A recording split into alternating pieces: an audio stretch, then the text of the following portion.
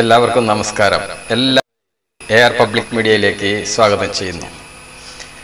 എനിക്കൊരു കൂട്ടുകാരുണ്ടായിരുന്നു അദ്ദേഹത്തിന് നല്ല വണ്ണമാണ് നല്ല വെയിറ്റ് വെയിറ്റുള്ള ആൾ.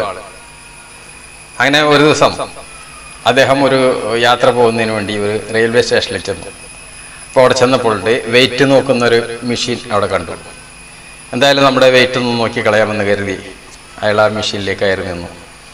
കയറി നിന്ന് കഴിഞ്ഞ് ആ നാണയം ഇട്ട് കഴിഞ്ഞപ്പോൾ അതിൽ നിന്നൊരു ചീട്ട് വന്നു ഒരു കാർഡ്. ആ കാർഡ് എടുത്ത് നോക്കിയപ്പോൾ അതിലെന്താണ് എഴുതിയിരിക്കുന്നത്? ഒരു സമയം ഒരാളിൽ കൂടുതൽ മെഷീനിൽ കയറാൻ പാടില്ല അങ്ങനെ അദ്ദേഹത്തിന് മനസ്സിലായി തന്റെ വെയിറ്റ് ഒരുപാട് കൂടുതലാണ്. എന്തായാലും വെയിറ്റ് കുറച്ചേ പറ്റുള്ളൂ. ഇങ്ങനെ പോയി കഴിഞ്ഞാൽ നമുക്ക് എന്തെങ്കിലും അസുഖമൊക്കെ വന്ന് നമ്മൾ മരിച്ചു പോകും. അപ്പോൾ അദ്ദേഹം വെയിറ്റ് കുറയ്ക്കണമെന്ന് തീരുമാനിച്ചു. അങ്ങനെ ഇരിക്കുമ്പോൾ അദ്ദേഹം അദ്ദേഹത്തിന് ജോലി സംബന്ധമായിട്ട് അമേരിക്കയിലേക്ക് പോകേണ്ട ഒരു ആവശ്യം വന്നു. അങ്ങനെ അമേരിക്കയിൽ ചെന്ന് അദ്ദേഹം അദ്ദേഹം പോയ ആ ജോലിയൊക്കെ കഴിഞ്ഞു. അങ്ങനെ നാടൊക്കെ ചുറ്റി കണ്ടുകൊണ്ടിരിക്കുകയാണ്. അങ്ങനെ ചുറ്റുന്നതിനിടയിൽ ഒരു ബോർഡ് കാണാൻ സാധിച്ചു അദ്ദേഹത്തിന്. ഇവിടെ വെയിറ്റ് കുറയ്ക്കുന്നതിനുള്ള ചികിത്സ ഉണ്ട് എന്ന് പറഞ്ഞുകൊണ്ട്. ശരീര വെയിറ്റ് കുറയ്ക്കുന്നതിനുള്ള ചികിത്സ ഇവിടെ കിട്ടും എന്ന് പറഞ്ഞുകൊണ്ട് ഒരു ബോർഡ് കണ്ടു. അങ്ങനെ അദ്ദേഹം എന്തായാലും നമ്മുടെ ഏതായാലും അമേരിക്കയിൽ വന്നതല്ലേ?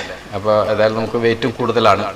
അപ്പോൾ എന്താണ് അത് ചികിത്സ എന്ന് നോക്കാമെന്ന് കരുതി അദ്ദേഹം ആ ആ ഹോസ്പിറ്റലിലേക്ക് ചെന്നു. ഒരു വലിയ ഒരു ബിൽഡിങ്.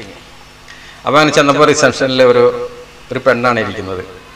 പെണ്ണിന്റെ അടുത്ത് കാര്യം പറഞ്ഞു എനിക്ക് വെയിറ്റ് കൂടുതലാണ് കുറയ്ക്കണമെന്ന് പറഞ്ഞു. ഓക്കെ കുഴപ്പമില്ല. അപ്പോൾ നിങ്ങൾക്ക് ഓർഡിനറി ട്രീറ്റ്മെന്റ് വേണോ അതോ സ്പെഷ്യൽ ട്രീറ്റ്മെന്റ് വേണോ എന്ന് ചോദിച്ചു. അങ്ങനെ ഓർഡിനറി ട്രീറ്റ്മെന്റ് ആണെങ്കിൽ അമ്പത് റിയാൽ സ്പെഷ്യൽ ആണെങ്കിൽ നൂറ് റിയാൽ എന്ന് പറഞ്ഞു. അപ്പോൾ ഇങ്ങനെ അദ്ദേഹം ചിന്തിച്ചു എന്തിന് ഇങ്ങനെ അനാവശ്യമായിട്ട് ചിലവ് ചെയ്യണം? നമുക്ക് വെയിറ്റ് കുറഞ്ഞാൽ മതിയല്ലോ. അപ്പോൾ എനിക്ക് ഓർഡിനറി മതി എന്ന് പറഞ്ഞു. അങ്ങനെ നൂറ് രൂപ കൊടുത്ത് ഒരു ചീട്ട് വാങ്ങി. അപ്പോൾ ആ റിസപ്ഷനിലിരിക്കുന്ന ആ സ്ത്രീ പറഞ്ഞു അത് ആ റൂമിലേക്ക് പോയിക്കോളൂ എന്ന് പറഞ്ഞു. അങ്ങനെ അദ്ദേഹം റൂമിൽ ചെന്നു. റൂം തുറന്ന് നോക്കുമ്പോൾ അവിടെ കുറേ കസേരകൾ മേശകളൊക്കെ ഇങ്ങനെ അലങ്കോലമായിട്ട് കിടക്കുന്നുണ്ട്. വലിയൊരു ഹാൾ. അങ്ങനെ ഹാളിന്റെ അറ്റത്തായിട്ട് ഒരു ഒരു പത്ത് പതിനെട്ട് വയസ്സ് തോന്നിക്കുന്ന ഒരു പെൺകുട്ടി അവിടെ നിൽക്കുന്നുണ്ടായിരുന്നു. അപ്പോൾ ഇത് കണ്ടപ്പോൾ ഇദ്ദേഹത്തിന് മനസ്സിനൊരു ചെറിയ ആശ വന്നു.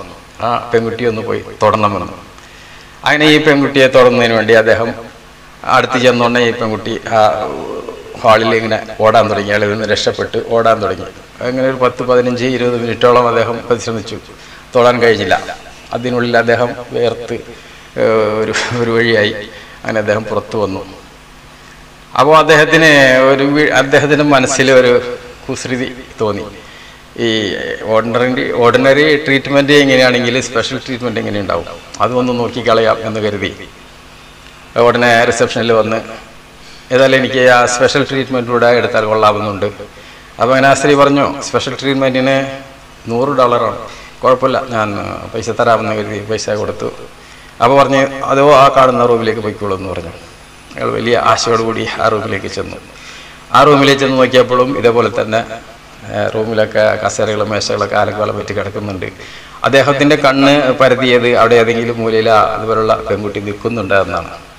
അപ്പോൾ അവിടെ കാണാൻ സാധിച്ചതേ ഒരു തൊണ്ണൂറ് വയസ്സ് തോന്നിക്കുന്ന ഒരു കിളവിയാണ് അവിടെ കാണാൻ സാധിച്ചത്.